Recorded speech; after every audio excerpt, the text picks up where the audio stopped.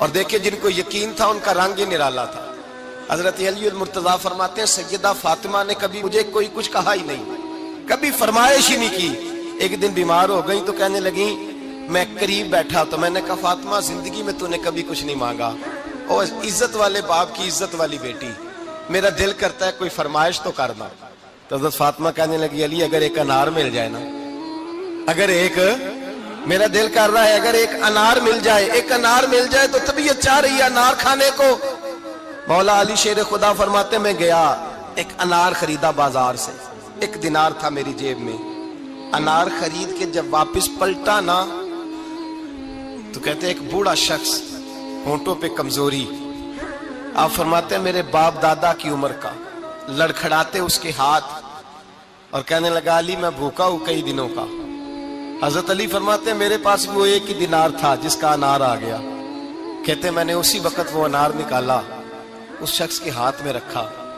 बोझल कदमों से जब मैं अंदर दाखिल हुआ ना तो पाक रसूल की पाक बेटी, इज़्ज़त वाले नबी की इज़्ज़त वाली बेटी, सबर वाले महबूब की सबर वाली बेटी कहते हैं, जब मैंने अपना कदम अंदर रखा दरवाजे के तो फातिमा ने मेरा उतरा हुआ चेहरा देखा तो कहने लगी, अली, पैसे अल्लाह के रस्ते में दे आए हो। खैरात कर रहे हो। हज़रत शेर खुदा रदी अल्लाह तला फरमाते, मैं फातिमा की तरफ़ देखा तो मैं हैरान हो गया। मैंने कहा, फातिमा, तुझे कहने लगी, मुझे यकीन है। आप अनार लेने गए थे, आपने खरीद भी लिया था। और मुझे पता है, अली, मेरे साथ बेवफाई हो ही नहीं सकती। ये किसी सवाली ने मांग लिया होगा। अली, आ जा। मुझे अनार खाने से वो सुकून नहीं मिला, जो तू अल्लाह के रस्ते में दे आया है तो सुकून मिला है। खाने से नहीं मिला, जो तेरे देने से मिला है। मौला अली कहते, सबर करके मियाँ बीवी बैठ गए तो दरवाजे पे दस्तक हुई। कहता, मैं उठ के दरवाजे पे गया तो हज़रत सलमान फारसी दरवाजे पे खड़े थे। उन्होंने ना नौ अनार मुझे दिए। कहने लगे, नबी पाक ने भेजे हैं।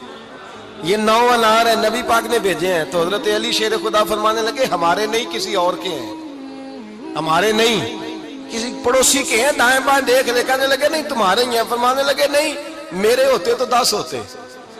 इसलिए कि अल्लाह फरमाता मन जा बिल हसनती फला हुआ शुरू, हम सालिहा। तुम एक नेकी करोगे, मैं दस का अजर अता करूँगा। फरमाया, मेरे होते तो दस पूरे होते, अल्लाह रसूल ने भेजे और मेरा यकीन कमज़ोर हो सकता है मेरे होते तो दस होते, ये नौ है। हज़रत सलमान फारसी ने जेब में हाथ डाला, दसवां भी निकाला। काली तेरे दस ही थे, मैं तो तेरा इम्तिहान ले रहा था।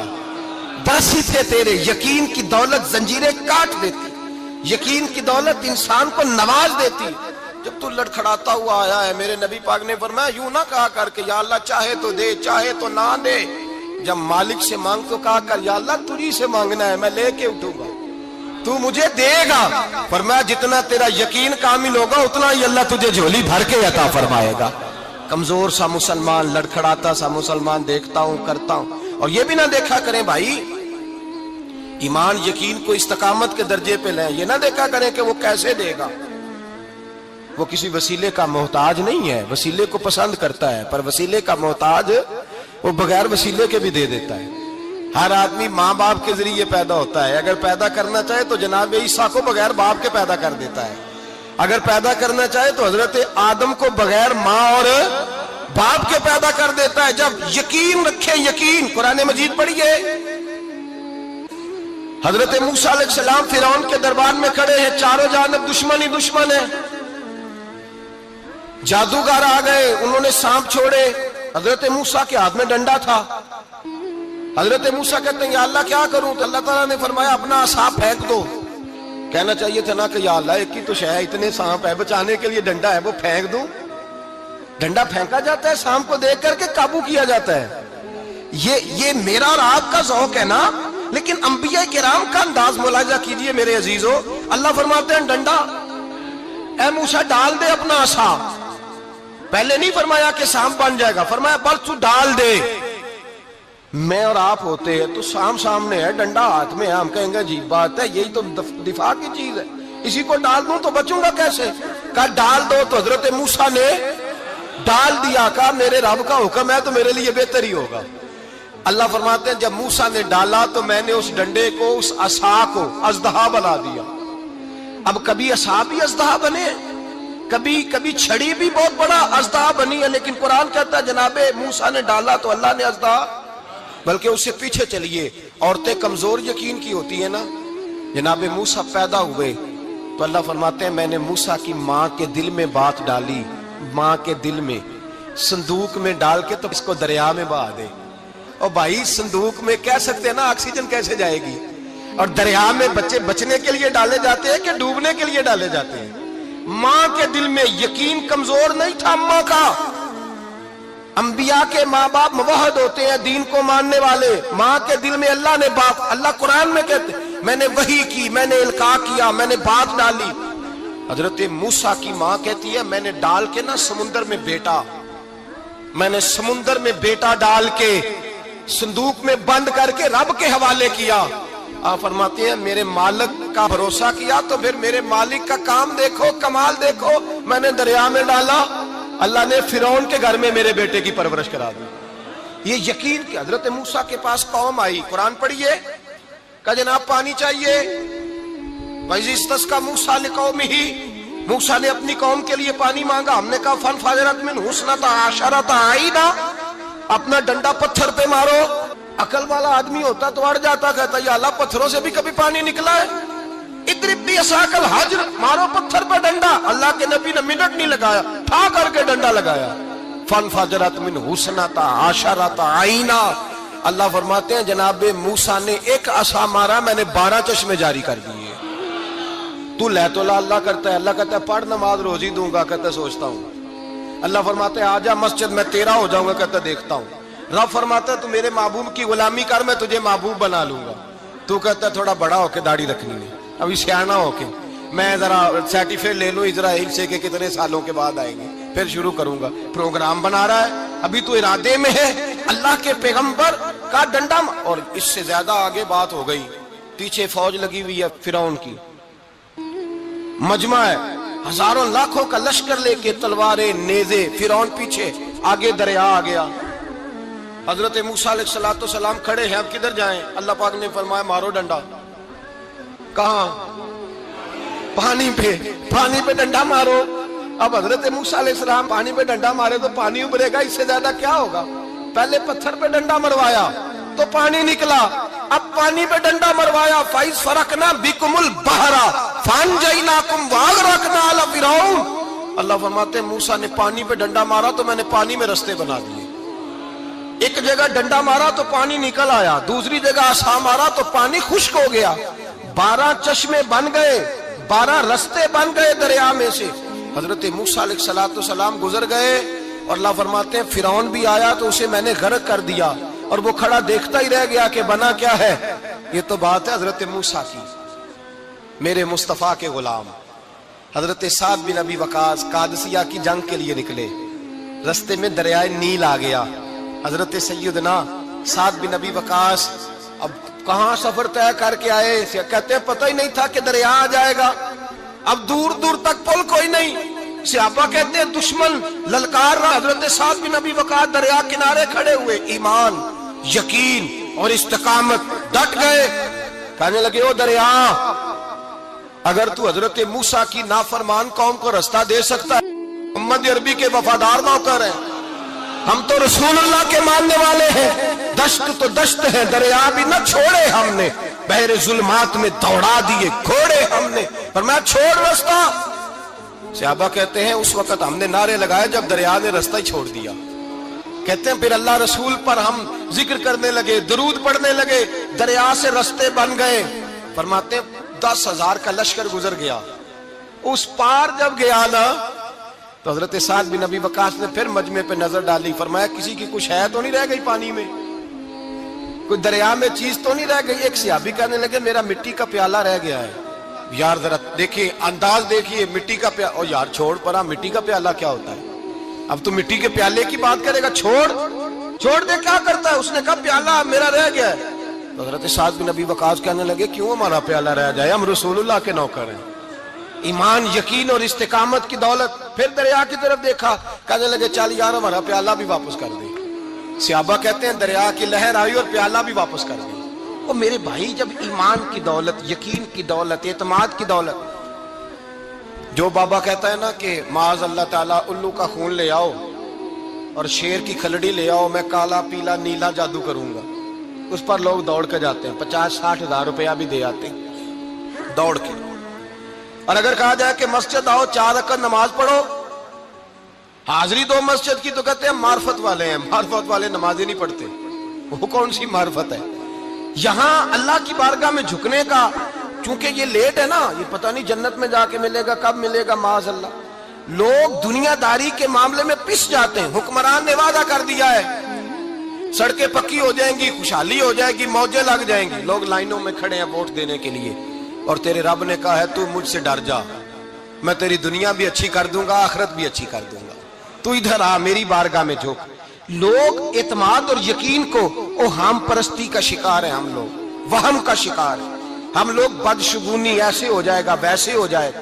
हम इन चीज़ों का शिकार, भाई एतमाद की दौलत पैदा करें, यकीन अपने अंदर पैदा करें, ईमान पैदा करें, डट जाए रब रसूल का नाम लेकर। हज़रत उमर का जमाना था, मिसर फतेह हो गया। हज़रत अमर बिनास गवर्नर बने। रिवाज ये था मिस्र के अंदर के एक दरिया चलता था, दरियाए नील। और सारे मिस्र का इन्हेसार उसी दरिया पे था। फ़सलों को पानी भी लगता उसी से, जानवर भी उसी से पानी पीते, खेतियाँ भी उसी से शराब होती। साल के बाद वो दरिया खुश्क हो जाता था। साल के बाद वो दरिया खुश्क होता। और जब खुश्क होता ना तो एक कवारी लड़की कत्ल करके दरिया में डालते। फिर वो दरिया चलता। आज भी बहुत सारी जगहों पे ओहाम परस्ती है। कहते हमारे आस्थाने का तरीका है। मैंने कहा, आस्थाने का, उस आस्थाने का तरीका होता है जिसका, जिस आस्थाने का ताल्लुक दरे मुस्तफ़ा से होता है। बाकी किसी आस्थाने का अपना कोई जाती तरीका, कोई जाती तरीका नहीं। तरीका वो जो मेरे नबी पाक का तरीका है। उससे हटकर कौन से, कौन सा तरीका है? हमारे आस्थाने का तरीका है। हमारी ये रस्म है, हमारा ये रिवाज है। उठा के भाग जाओ रस्म रिवाज। हमारे रस्म रिवाज रसूलुल्लाह की सुन्नत के पाबंद है। सारे बोलिए, सल्लल्लाहु। फिर एक दफ़ा पढ़िए दरू शरीफ, सल्लल्लाहु। तीन दफ़ा कर ले ताकि ताक आदाद हो जाए। सल्लल्लाहु नबी पाक सल्लल्लाहु अलैहि वसल्लम का तरीका, असल तरीका है। हज़रत उम्र फारूक को जनाब अमर बिन आस और कहते हैं कि पक्का तरीका यह था कि जब तक लड़की कत्ल करके डालते नहीं थे, दरिया चलता नहीं था। हज़रत उमर को खत लिखा। का हुजूर, ये मामला है। और लोग मुझे यही कहते हैं, मैंने लोगों को समझाया है कि इस्लाम जुल्म का हुक्म नहीं देता, जुल्म की इजाज़त नहीं देता। कैसे लड़की कत्ल की जाए? अब आप बताएँ क्या करना है? हज़रत उमर ईमान यकीन इस्तेकामत पहाड़ है ये लोग। हज़रत उमर ने दो खत लिखे। एक हज़रत अमर बिन आस के नाम दूसरा दरियाए नील के नाम। दो खत लिखे। एक एक, खत लिखा दरिया के नाम। एक खत लिखा अमर बिन आस गवर्नर के नाम। गवर्नर के नाम खत लिखा तो फरमाया जितने यहूदी हैं ईसाई हैं कमज़ोर ईमान वाले सबको दरियाए नील पे ले जा। और मेरा ये दूसरा खत दरिया में डाल दे और सबके सामने डालना कहते हैं, ये खत तू पढ़ना चाहे तो तुझे इजाज़त भी है। सुनिए और सर धुनिए और सोचिए कि असल कमज़ोरी कहाँ आई है। रमज़ान के सबसे पहले जुमे में सबसे अहम मौजू छेड़ा है। कमज़ोरी और नक्श वाकया कहाँ हुआ है? हज़रत सैदना उमर बिन खत्ताब रदी अल्लाह उन्होंने दरिया को मुखातब करके लिखा हो दरिया, अगर तू कहता है ना कि लड़की कत्ल करके फेंकी जाएगी तो मैं रसूलुल्लाह का मानने वाला हूँ, मैं जुल्म नहीं होने दूँगा। हमें तेरे पानी की ज़रूरत ही कोई नहीं, तू बेशक पानी ना दे।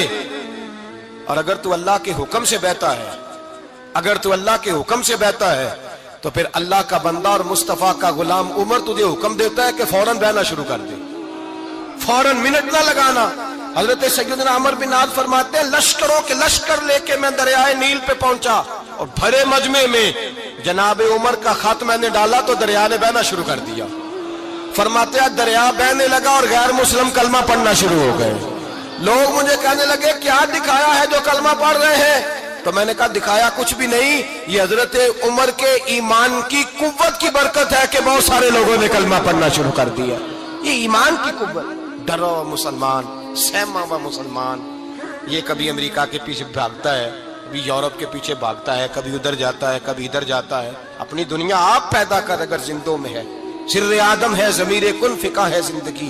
जब ईमान की ताकत पैदा होती है, जब कुत पैदा होती है, फिर इंसान के इखलाक समझ जाते हैं। फिर उसका नज़रिया सीधा अल्लाह रसूल की जात पर जाके खड़ा होता है।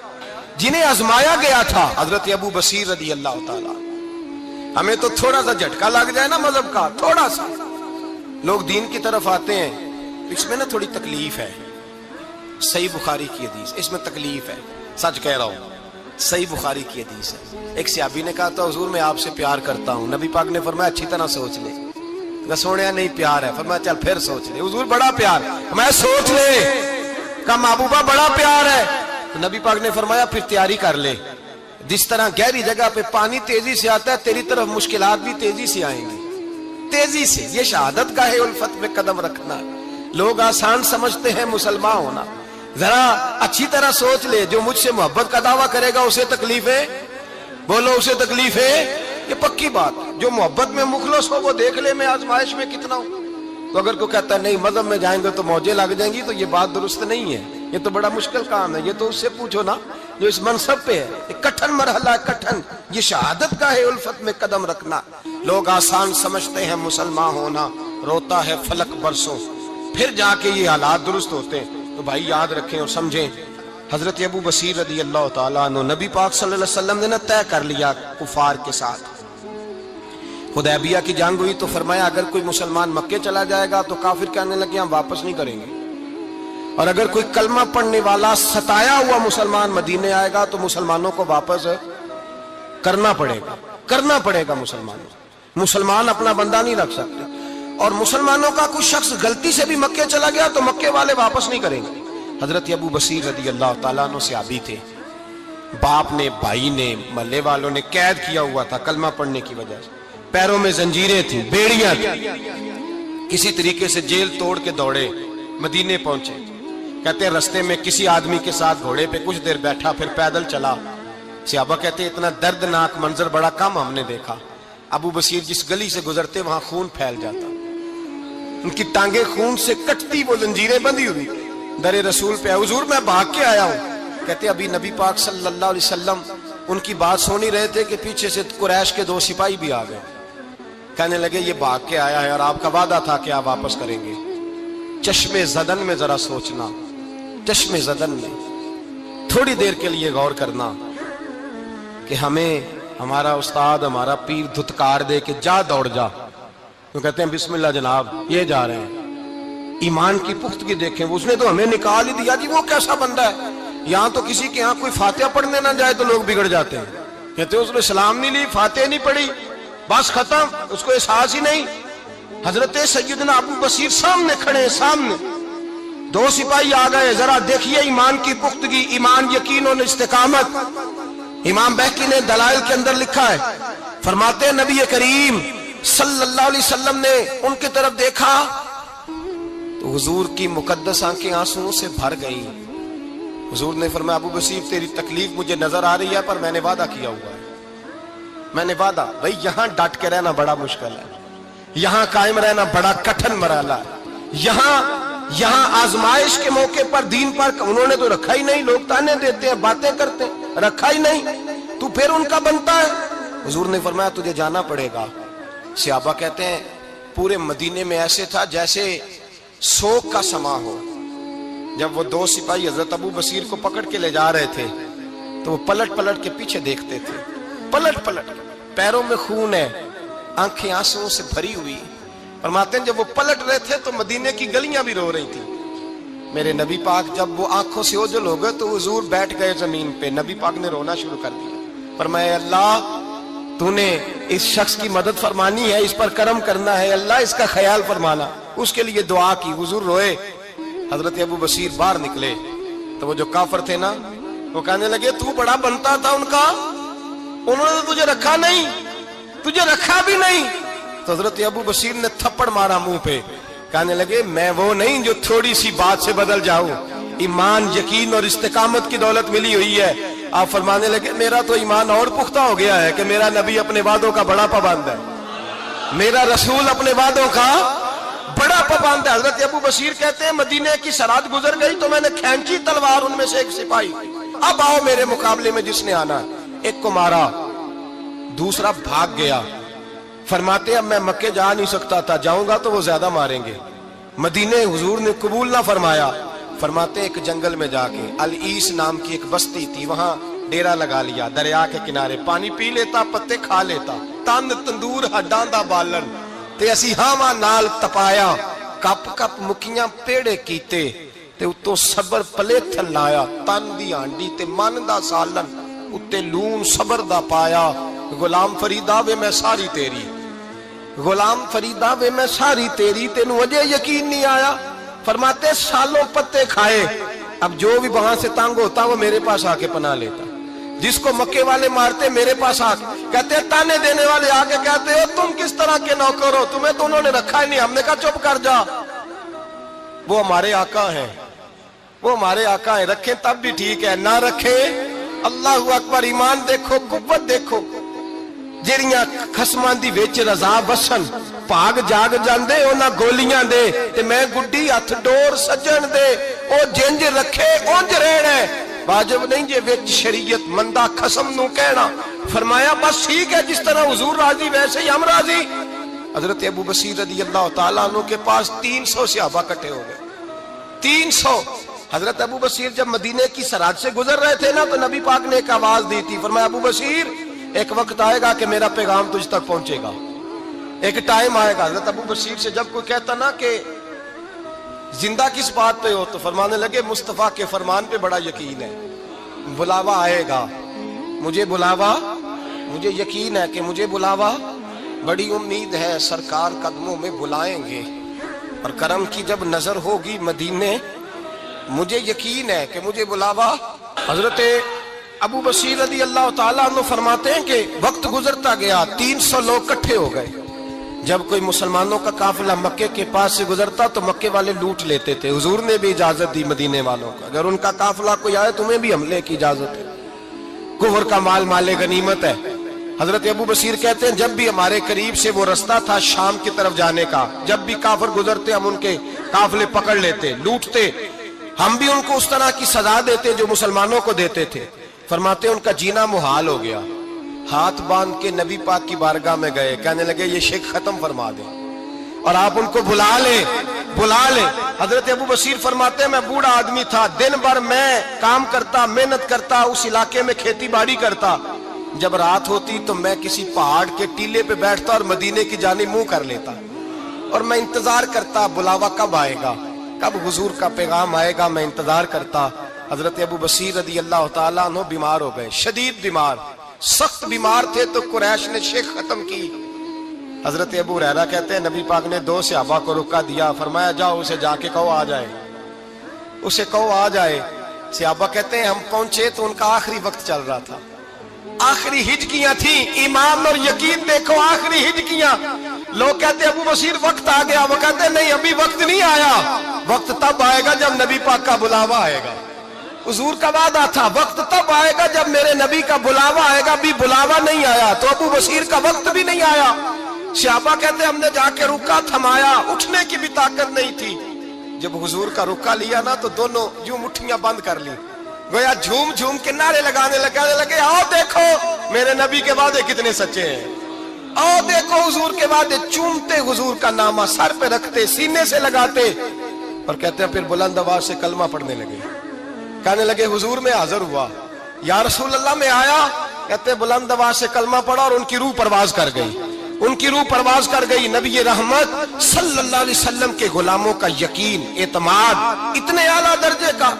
कमज़ोर मुसलमान, दाएँ बाएँ देखता मुसलमान कुफर के वादों पर एतबार करता, यहूदी, ईसाई और सिख के वादों पर एतबार करता, दुनियादार ठग और चोर के वादों पर एतबार करता, ये रब करीम के वादे पर एतबार नहीं करता, ये अल्लाह रसूल के साथ अपनी तवज्जो को मबजूल नहीं करता।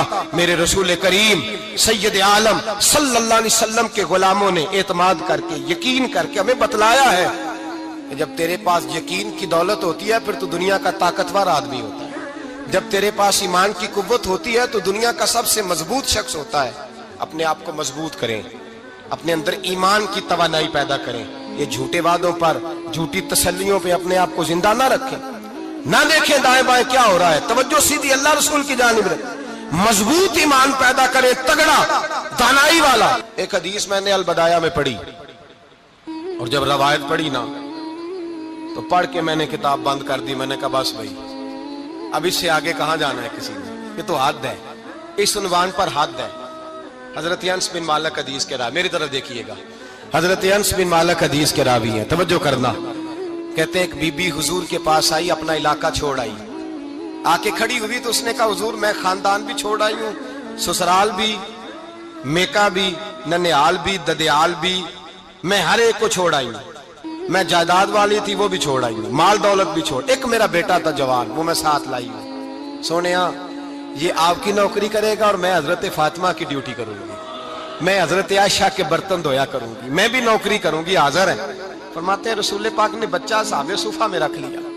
असाब सूफा और बीबी को नबी पाक वसल्लम ने औरतों के साथ मुतयन किया। हज़रत कहते हैं नौजवान, बड़ा प्यारा, बड़ा मीठा, बड़ा धीमा, बड़ा वफाशार वो सबक अच्छी तरह याद करता, वो नमाज़ दिलचस्पी से पढ़ता, वो हुजूर की बातों को गौर से सुनता, वो रसीला, वो संजीदा, वो कम गो, वो मीठा, वो प्यारा, कहते हैं, बड़ी दिलकुशा तबीयत, उसकी मकनातीसी सी शख्सियत, तबीयत खिंची चली जाए उसकी तरफ़, बड़ा हसीनो जमील वो नौजवान, उस माँ बेटे के तस्करे होने लगे कि बड़ी जायदादें छोड़ के आए, बड़े माल वाले, इन्होंने बड़ी कुर्बानी दी है, हर रिश्ता नाता तोड़ के रब रसूल से जराना लगाया है।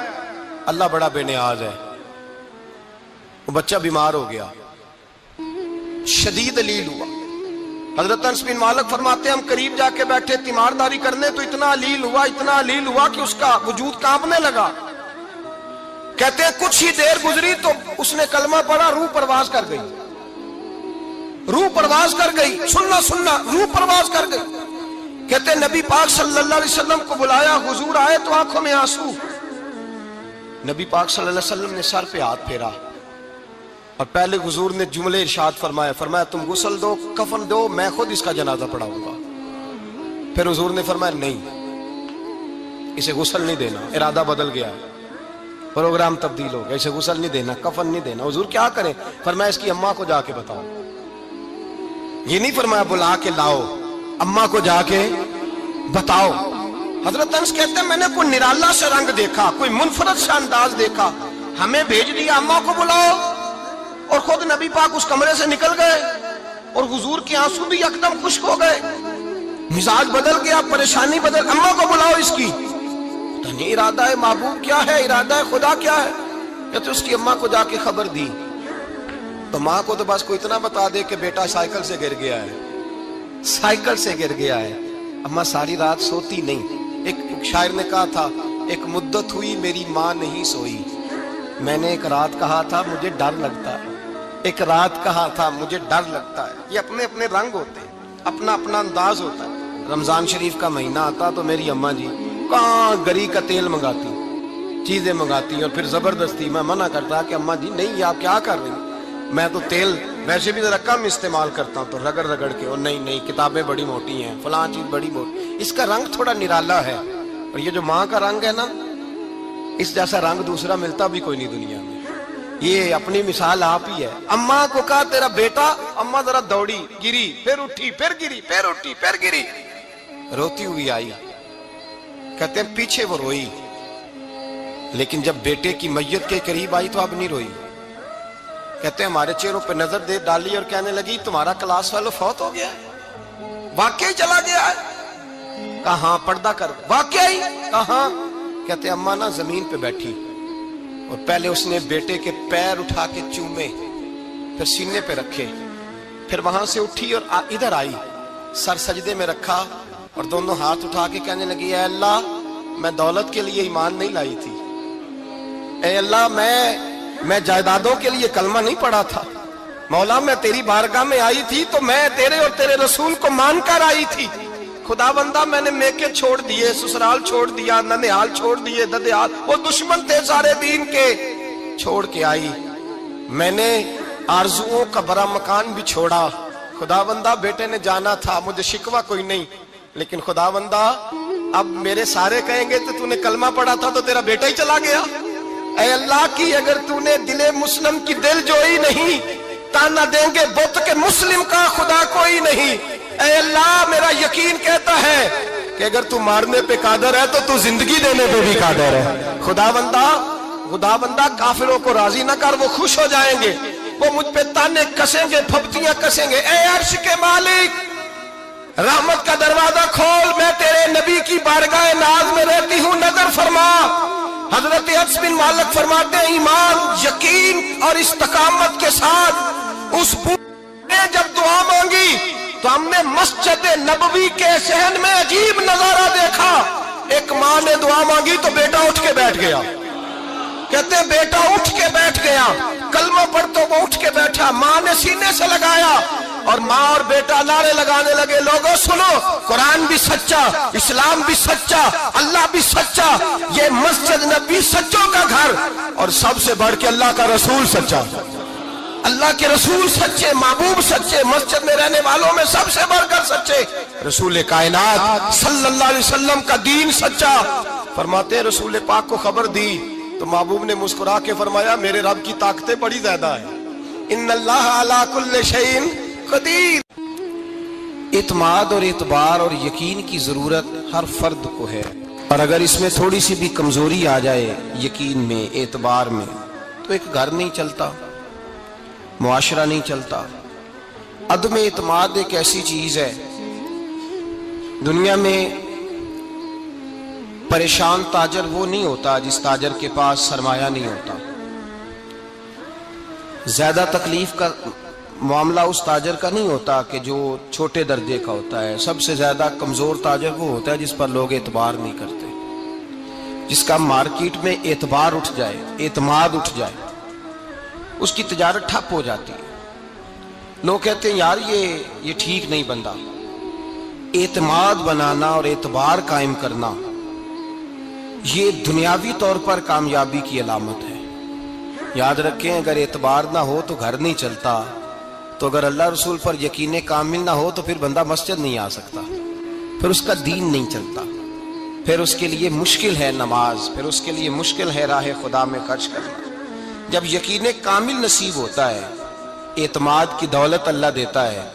जब इंसान को ये इनशराह सदर हो जाता है कि मेरी निजात खुदा के हुक्म में है और रसूलुल्लाह के कदमों में है। जब उसे ये इनशरा हासिल होता है तो फिर नमाज़ का लुत्फ आता है।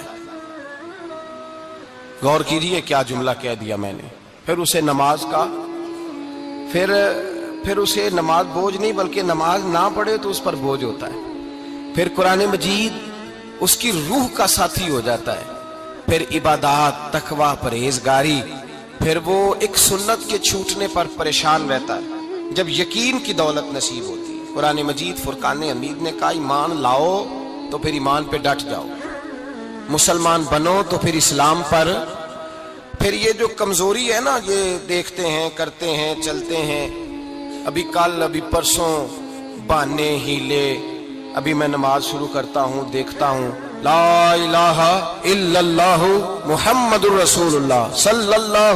अलैहि। जब किसी ने कलिमा पढ़ा तो उस पर पूरा दीन ज़रूरी है। पूरा। अब वो ये नहीं कह सकता कि थोड़ा थोड़ा करके आऊँगा। यकीन की दौलत, नेमत है। अल्लाह पाक कुरान मजीद में फरमाते हैं जिन्होंने कहा कि अल्लाह हमारा रब है और फिर वो इस पर डट गए। फिर इस पर वो कहा तो डट खड़े हो नहीं, अल्लाह ही रब है। अल्लाह ही देने वाला। अल्लाह ही मालिक। अल्लाह ही हमारा राजिक है। रब ही हमारा सब कुछ। जब डट गए तो फरमाया तनजल फिर मैं उनकी मदद के लिए आसमान से फरिश्तों का नजूल फरमाया करता। फरिश्ते क्या कहते हैं? अल्लाह तखाफू, वला तहजनू। गम न करना, खौफ न खाना। वब शुरू बिल जन्नतिल्लती कुन तुम तो हम तो तुम्हें अल्लाह तबारक वाली की उस जन्नत की खुशखबरी देने आए हैं जिसका रब ने तुम्हारे साथ वादा किया हुआ है। फिर फरिश्तों का नजूल होता है। लेकिन शर्त क्या है कि ईमान लाए और फिर ईमान पर? फिर ये ना सोचे कि वो किस तरह देगा, वो कैसे अता करेगा, वो मेरी मदद किस तरह करेगा, निज़ाम कैसे चले? डट जाए। डट जाए। कई मेरे अल्लाह का हुक्म है तो मैंने हलाल ही खाना है। मेरे रब का हुक्म है तो मैंने थोड़े पे गुजारा करना है। मेरे मालिक का हुक्म है तो मैंने अपनी जेब देखनी या दूसरे की नहीं देखनी। मेरे रब का हुक्म है तो मैंने उसकी इतात में रहना जब डट जाएगा, अल्लाह के अहकाम पर जब डट जाएगा तो अल्लाह फरमाता है, फिर मैं तेरी मदद के लिए फरिश्तों का नजूल करूँगा। नबी पाक सल्लल्लाहु अलैहि वसल्लम ने फरमाया, दो दौलतें अगर किसी को अल्लाह दे दे तो समझे अल्लाह ने उसे दुनिया की सबसे ज़्यादा दौलत अता फरमा दी दो दौलतें। दो किस्म का माल, अगर अल्लाह किसी को दे दे, दो किस्म। या रसूल अल्लाह वसल्लम, वो दौलत कौन सी है? तो हुजूर ने ये नहीं फरमाया कि अगर अल्लाह तबारक व ताला उसे सोना दे दे, चांदी दे दे, पैसे दे दे, जायदाद दे दे, औलाद दे दे, ये नहीं। देखिए, हुजूर ने दौलत किसको कहा? नबी पाक फरमाते हैं, दो किस्म का सरमाया जिसको मिला, उसे कायनात की हर नेमत मिल गई। और हुजूर ने फरमाया, मैं अपने गुलामों को नसीहत करता हूँ। ये दो दौलतें ऐसी हैं जो अल्लाह से मांगा करें।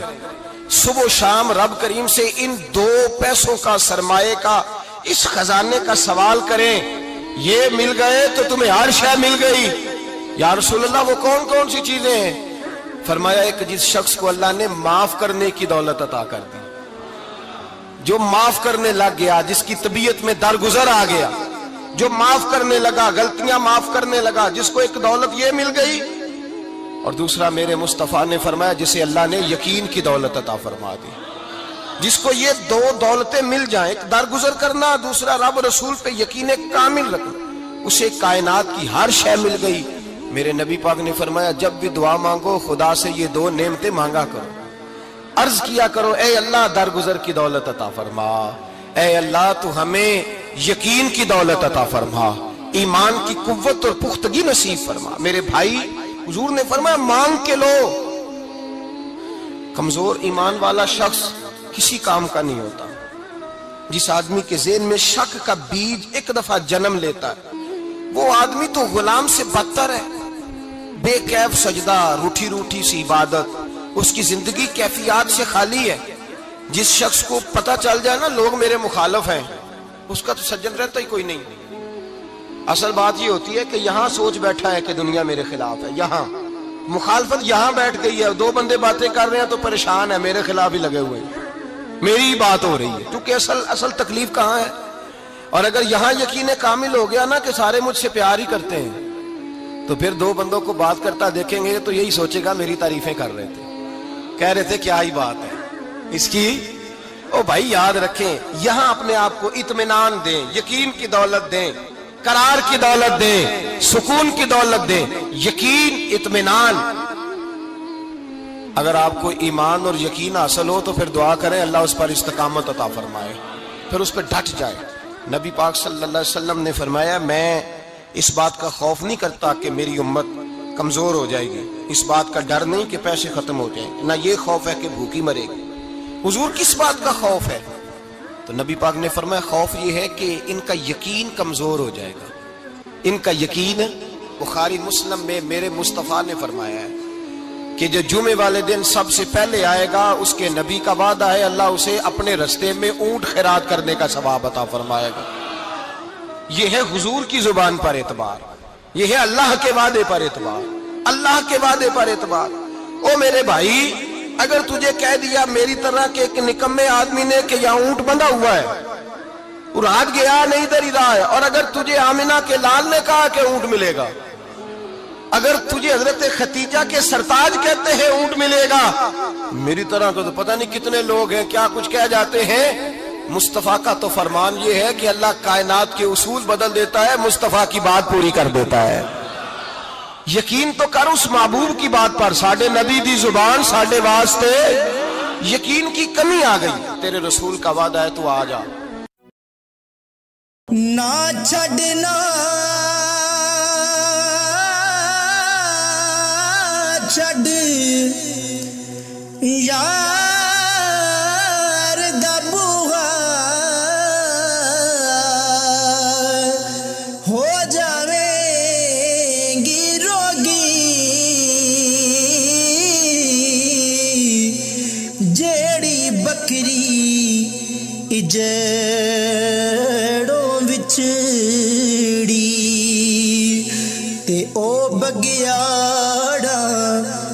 yogi